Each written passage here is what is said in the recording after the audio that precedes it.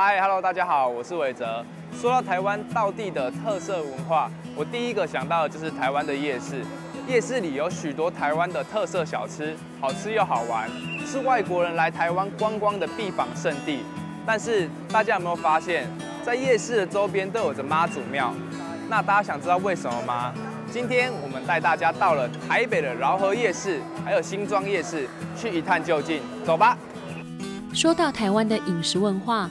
大家一定会联想到夜市，台湾夜市许多道地的美食小吃更是享誉国际。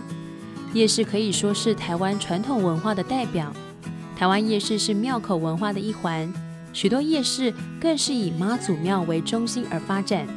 大甲、松山、新庄等地的夜市都是如此。大甲镇南宫还是在整个台湾的庙会庙口啊，拢有这小摊贩。啊，因会使讲非常的真辛苦。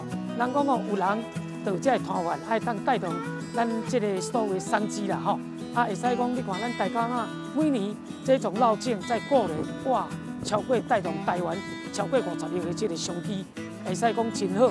其实大家嘛，在绕境的时候，还是过年，还是平时的假日，哇，周边的这些小吃生意，大家都一级棒。妈祖庙哦，所衍生出来的这个庙口经济文化，也是台湾很特色的这个呃乡土文化。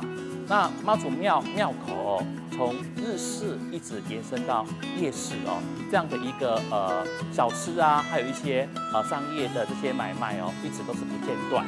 这个也是为什么哦，在我们台湾的夜市哦的周遭，我们都可以看到妈祖庙的踪迹。庙是神明的家。也是民众信仰的中心。台湾的庙宇如同西方的教堂，不仅是宗教圣地，也是民众习惯聚集聚会的场所。久而久之，逐渐演变成摊商聚集的地方，更因此形成了台湾特有的庙口夜市文化。台湾商业世界的庙口夜市文化，有许多是以妈祖信仰为核心开展出来的。从中我们可以看见妈祖信仰所蕴藏的经济功能。我们在北台湾两处极具特色的夜市——饶河街夜市、新庄夜市，都可以发现。我们这个松山慈幼宫啊，在建在那个清乾隆十八年，就是一七五三年。那当初是叫做那个松那个叫做溪口妈祖庙，哦西西口妈祖庙，后来就是变成一个。西口慈幼宫，然后来日本人来占领台湾的时候，把我们改成松山慈幼宫这样。道光年间，蒙甲、万华和格马兰、宜兰、基隆、基隆之间的往返，溪口是必经之地。溪口街与慈幼宫因而繁荣兴盛，往昔当地甚至有小苏州之称。庙街与夜市逐渐形成。因为一般来讲哦，这个。夜市的形成呢，也是人潮够才往往形成。但是很多人都来先以庙为中心点，往两边发展，很多地方都是这样子。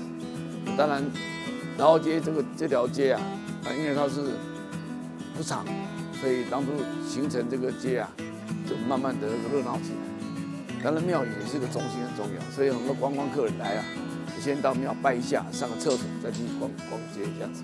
人潮川流不息的饶河街夜市，从香火鼎盛的松山慈幼宫延伸发展而成。这里的夜市与松山慈幼宫有着生命共同体的紧密关系。在北台湾发展非常早的新庄古市街也是如此。新庄自由宫吼是创建于清朝康熙二五年，我们西元一六八六年，隔今已都三百三十三年。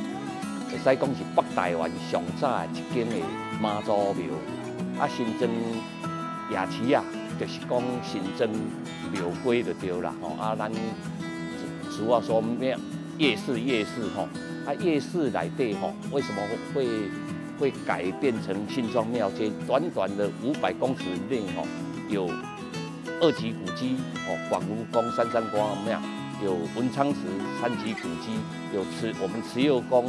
哦，妈祖经四殿古迹，其中慈幼宫妈祖庙前是清朝北台湾淡水河流域的重要渡口，往昔舟影一如林，商旅云集，旧时还有一府二路三星庄之称，地方民众更在此新建了妈祖庙来庇护大家，是新庄最早新建的庙宇。慈幼宫庙宇右侧更是延伸发展成庙街与夜市。下次逛夜市的时候，不要忘记到附近的妈祖庙走走。想要了解更多关于妈祖的大小事吗？我们跟着妈祖一起游台湾，下回见。